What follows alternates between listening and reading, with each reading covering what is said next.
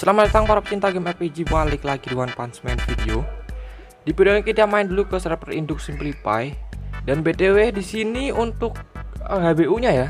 Ini mirip kayak di saya ya. Yaitu si nyamuk. Entah ini ngikutin atau kayak apa nggak tahu ya. Tapi menurutku nggak gimana ya cuy. Kemarin sebelumnya itu udah ada event yang di mana itu Esper dua biji yaitu Pigat SSR Plus sama SSR biasa itu Esper dua-duanya ya kan udah pasti. Terus dikasih HBU Esper lagi pula ya. Nggak tahu lah ya ini pertimbangan dari mana gitu. Oke kita langsung aja masuk. Di sini ada PVP baru dan kemungkinan di saya bakal ngikutin cuman entah kapan masuknya ya.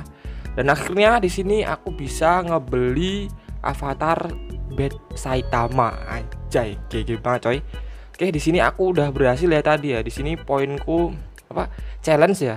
Challenge serangan nih sisa 3 dan ini udah bisa ngeklaim Saitama. Wah, mantap. Kita coba klaim dulu, men. Mantap juga nih. Uh. Ini dia. Kita coba pakai dulu ya. Mantap juga, coy. Ini avatarnya the best ya. Dan ini permanen ya, coy. Permanen ya buat kan yang kemarin tanya, ini kan kan ada waktunya, Bang. nggak permanen tuh. Permanen, coy kalian lihat aja translate sendiri nih kalau nggak percaya ya kita pakai dulu eh mantap ya sekian lama saya menggunakan avatar burung-burungan akhirnya diganti dengan avatar Saitama si botak. Mantap ya. Mantap juga oke kita sedikit showcase dan aku sedikit review lah ya untuk PVP nya ini macam mana gitu ya. Jadi PVP ini PVP baru yang mengadaptasi dari beberapa PVP yang ada di OPM, fitur PVP yang ada di OPM. Contohnya ada dari uh, Dojo udah pasti karena dia uh, mengharuskan membawa tiga squad atau tiga line up. Terus ada di mana ya PVP biasa ada sih ya karena kan PVP juga gitu. Pokoknya itulah ya. Terus untuk sistem pencarian lawannya itu mirip kayak LC. Nah, gitu ya. Jadi banyak ya mengadaptasi dari beberapa banyak PVP yang sudah ada. Dan untuk bulan lalu ini kayaknya yang TV ini belum ada ya. Nah ini kan kayak DLC banget kan. Nah ini kemarin bulan kemarin belum ada dan ini baru aja hadir di bulan ini kalau nggak salah ya. Nah kayak gini terus ada shopnya kayak gini. Nah setiap rank itu isi shopnya beda-beda cuy. Aku kalau lihat youtuber-youtuber China itu shopnya isinya lebih lebih bagus daripada ini ya. Mungkin di sini rankku uh, masih rada di bawah gitu ya. Jadi isinya kayak gini doang paling bagus ya ini red set fragment ya buat fuse red gear.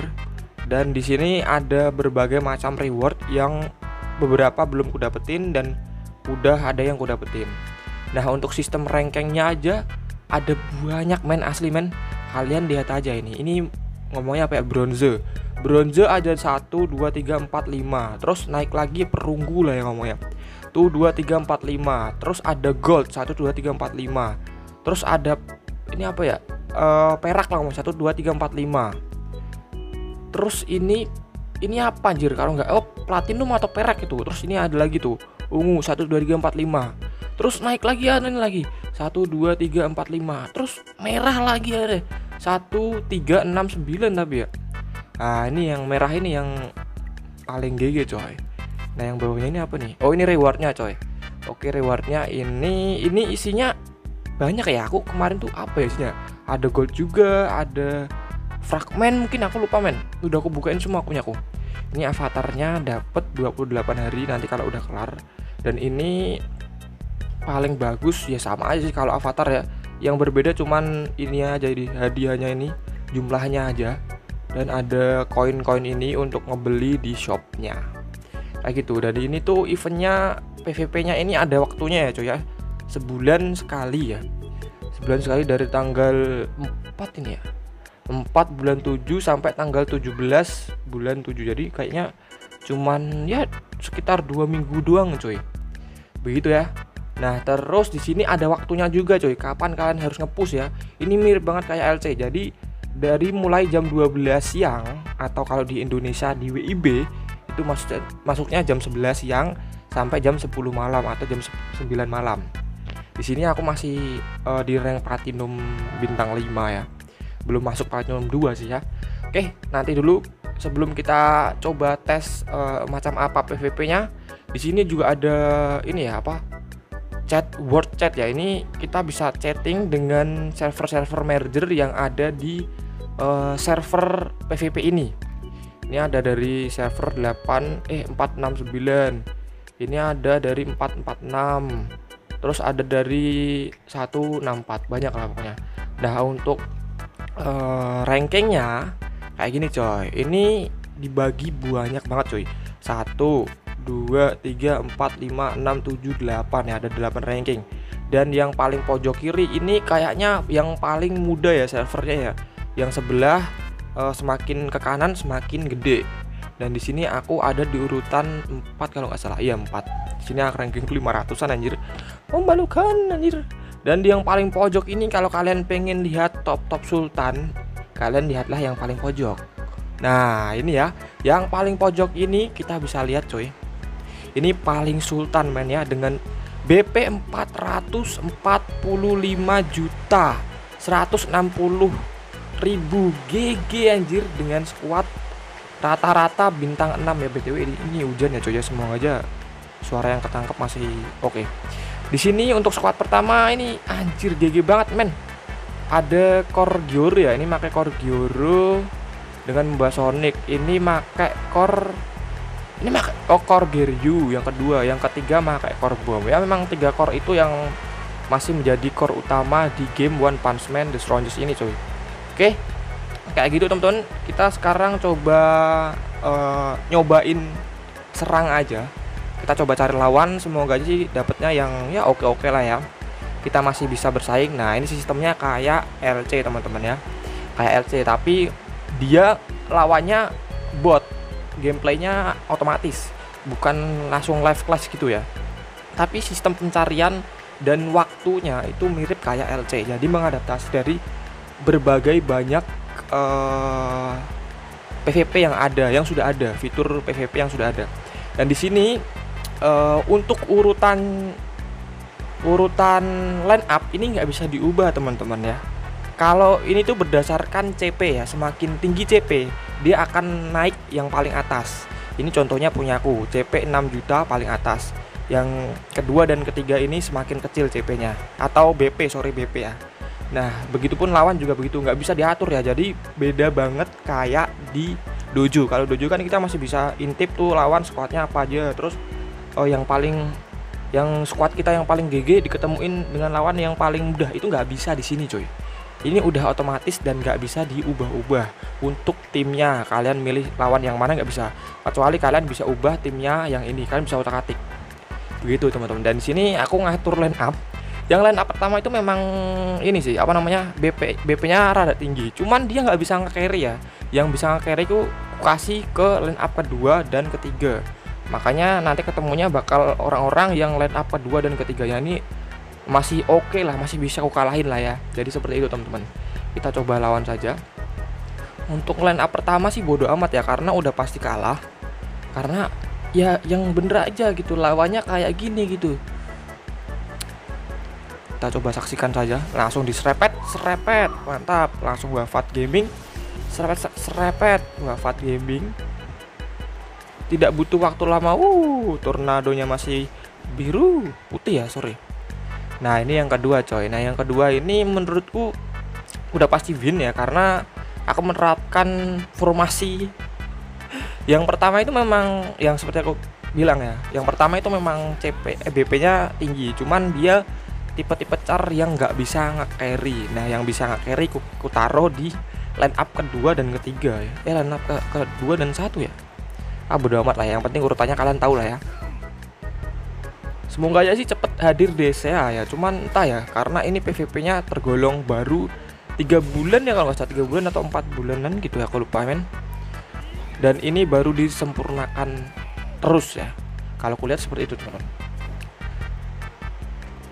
Shoes. Oh iya, aku sedikit lupa tadi ngasih tahu. Jadi ini PVP-nya tuh kita bisa atur ya.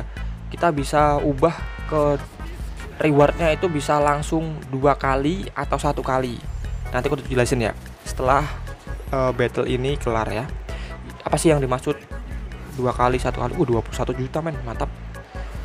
Kalau ini mah easy easy aja karena lawannya nggak terlalu OP OP gila gitu. Nih gas sana tak tap. Shush kita skip aja lah. Yang ini udah pasti win coy. Biar rada cepetan ya kan? Ntar ini squad kedua si Atomic ya. Si Atomic ketemu si Boros. Oke lah kita coba serepet-serepet dulu sekali lah ya. Semoga ya ya udah pasti win sih ini sih. Biarpun yang nge-carry cuma satu char yaitu si Atomic. Seret mantap ya. Kita skip aja coy biar mempersingkat waktu Oke, nah di sini kalian bisa lihat ya. Untuk rewardnya, di sini aku plus 6 ya. Kalian bisa lihat di sini plus 6 dan tadi rewardnya yang di bawah itu dapat poin 300-an kalau nggak salah. Nah, itu bisa kalian gandakan ya dengan cara kalian klik icon kali dua yang ada di sini. Nah, kalau ada udah ada animasi muter-muter itu berarti itu langsung menggunakan dua challenge. Yang tadi kan challengeku di awal tuh tiga biji. Tadi aku pakai satu untuk nge-attack Nah ini aku pakai langsung dua challenge-nya dan nanti hadiahnya atau rewardnya bakal double juga. Oke kita coba cek langsung saja. Tadi tuh aku dapatnya 6 ya poinnya. Di sini kalau aku dua kali menang lagi berarti dapatnya 12. Kita coba cek aja. Oke di sini squadnya, hmm, oke ini server baru coy. Tapi CP-nya tinggi banget. Oke kita coba main coy kita coba main di sini kita skip skip aja ya untuk yang pertama. Mungkin yang kedua yang ketiga baru kita main. Kita skip aja mempersingkat waktu kawan-kawan. Oke langsung kita masuk ke battle yang kedua. Di sini rada bahaya karena ada si Gyoro SSR Plus. Kita coba speednya buff dulu dengan movement rider. Tap. Ini aku manual ya coy. Kalau auto kelamaan nanti karena counternya Galewin udah ada kita coba pancal langsung. Semoga langsung wafat sih bagian belakang. Oke mantap. Bagian belakang wafat. Ini mah udah pasti auto win banget anjay. Kita skip aja. Nanti kita coba lihat rewardnya. Apakah bener dua kali atau tidak ya? Harusnya sih iya sih. Karena kemarin-kemarin aku udah nyoba ya.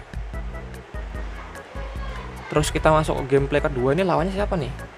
Oh ada Citeo SSR Plus coy. Mantap. Ada Citeo SSR Plus tapi kita bisa langsung slash ya. Kita coba langsung slash aja biar cepetan coy. Cat cat cat cat ceret mantap jiwa. Wafat langsung men.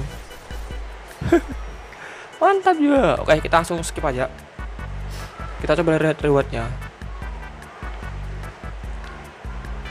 Ah bener kan? Di situ aku dapat poin plus 12 yang artinya kali dua. Oh ya poinnya sorry tadi 30 ya bukan 300 300 kebanyakan anjir. Di sini diganda digandain jadi 60 yang tadinya kalau sekali menang itu jadi 30 doang dapatnya. Kalau aku gandain jadi 60 dapatnya. Tapi memakan challenge 2 poin di sini challenge poinku habis ya. Tinggal 0 gitu ya teman. Kalian kalau mau balikin tinggal pencet aja kali duanya. Nah, kalau begini udah normal, kalau yang ini kali dua. Itu teman-teman. Dan mungkin itu aja ya sedikit review PVP baru yang ada di server induk dan sekalian kita klaim avatar Saitama. Ini mantap banget teman-teman. Oke mungkin segitu aja video kali ini. Terima kasih buat yang udah nonton. See video dan terima kasih. Mantap jiwa